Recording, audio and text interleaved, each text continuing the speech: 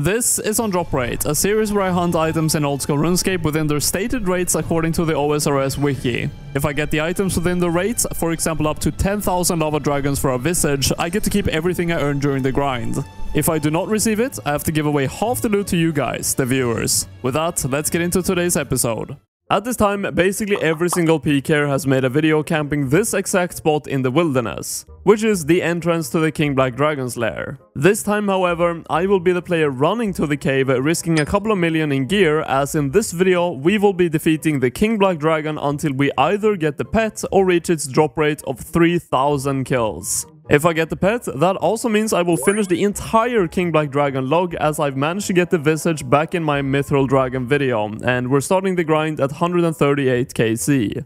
The method I'll be using to get to the KBD lair is very simple. I'm going to be using a Burning Amulet, Protect from Item, and teleport right to the Lava Maze at 41 Wilderness, which is very close to the lair, but this is the place I can get PK'd at. It is very risky. A lot of people are camping this area. So I will definitely have to be ready. And by the way, the gear, if you didn't catch that in the intro with my risk, is this that I'm going to be using right here on the screen. It is pretty budget, but I am only really risking the Serpentine helmet, which is only 3 million, so it's not too bad. Not too bad of a kill, I definitely feel like this is a pretty decent setup. You can see I've basically took only 35 damage and I got the kill. And prayer I only needed to use one sip, so could maybe stay here for a decent amount of time. Now this might come as a shock to you, but the King Black Dragon is indeed a dragon, and that means we need fire protection against his breath. The max hit of the Dragon's Breath is 65, but can be lowered down all the way to 10 damage. This can be done by using three different tools, the Dragon Fire Shield, Protect from Magic, and an Anti-Fire Potion. If you have all of these active at the same time, you will take a max of 10 damage, but we actually don't need all of that. You only need to have a Dragon Fire Shield and an Anti-Fire Potion active to take 10 damage which allows you a different protection prayer than magic. So I will use protect from melee the entire grind. And I think that is the last kill of the first trip. I would say pretty successful. I wasn't really sure how many kills I would be able to do per trip, but this is how many I did. 13 kills and with the home teleport and how I recently upgraded my house, this grind is going to be so nice with the rejuvenation pool. I was just gonna have a look at what combat achievements there are for this boss that I haven't done yet, if any, but look at the chat. I think they just reworked combat achievements to kind of work like the league's point system, and I have not completed full easy, medium, or hard tier at all, but I have all of them unlocked now just because collectively I've collected enough points. Now, why is this especially relevant to this specific video? Well, the hard combat tier does actually have the reward of you being able to use KBD heads, which I do have in my bank already, to recolor the Dragon Hunter crossbow. And I've now claimed all the rewards, which, by the way, I'm going to be using all on agility because I really do not like that skill. I don't think anyone does. Now, I do prefer melee at KBD, so I'm not going to be using this for the actual boss grind itself, but I just thought this was a pretty cool thing and kind of on theme. So let's add the KBD heads to the crossbow, and that is now a dark colored Dragon Hunter crossbow, which I think looks really good. Besides that though, it seems like all combat achievements are done for the boss already, so it's just the KC and the pet we need. Oh, we get another pair of KBD heads. I will show you guys what I'm going to be doing with all of these at the end of the grind. We will probably have a lot of them. I was waiting for this drop, the Dragon Medhelm. This was one of the few reliable ways back in the days when this boss was actually released to get the Dragon Medhelm. It's 1 in 128 drop rate, so not that rare and very cool to see. After this one, we are coming up on 100 KC on KBD, and the money from this is actually better than I expected. it seems like I'm definitely profiting. We have made around 18k every single kill, and that is of course without getting any of the rares. Yo, uh, the first elite of the grind. These are actually kind of rare, 1 in 450. Of course, as always, I'll complete them, and at the end of the grind, I'll open all of them. And that is the first one completed out of hopefully many. Bro, this guy's trying to actually die and go to Lumbridge, but the boss just keeps attacking me all the time. It's done it like seven hits in a row now. Dude, he can't get a...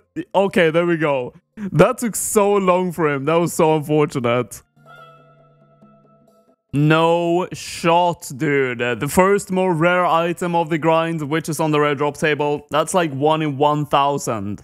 I have been doing some counting as I usually do on these longer grinds to see how long they are roughly going to be taking and I've now done 300 KC and it's been 6 hours. That means I'm getting around 50 kills an hour and that seems to be consistent if I keep my focus up at all times. So yes, this is probably going to be roughly a 60 hour grind. Oh my god, I am so dumb. I've been keeping track so well of PKers. For some reason, I just zoned out this time. I am so dead at this point. Okay, the dude has D-Claws, he has TB, he has everything. I think I'm fairly tanky at least with this gear. If I unequip Proselyte when he's trying to root me, maybe I can escape, but seems highly unlikely. So you can see on the teleblock I've been tanking for roughly 3 minutes, but we only have one Manta Ray left, and I think my only chance of maybe escaping is if I can get into this dungeon right here.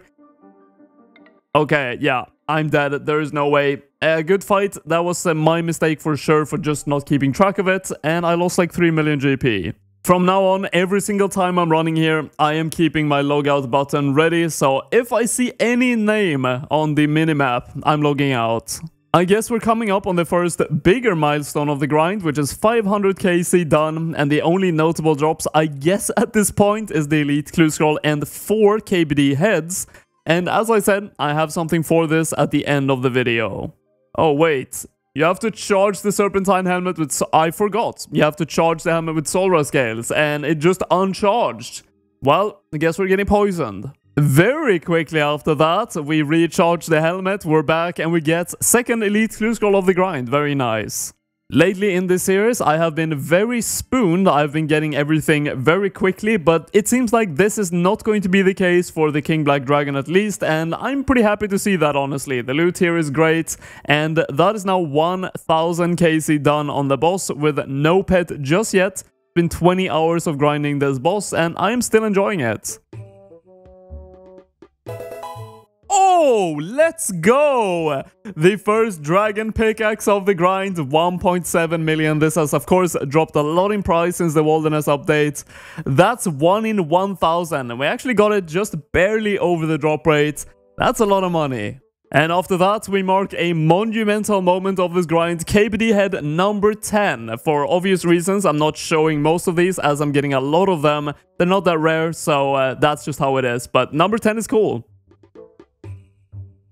What? Uh, okay. Okay. Okay. That is back-to-back -back KBD head. So 11. Oh yeah, of course. I can show you guys the chat so you can actually see that it's back-to-back. -back. There you go.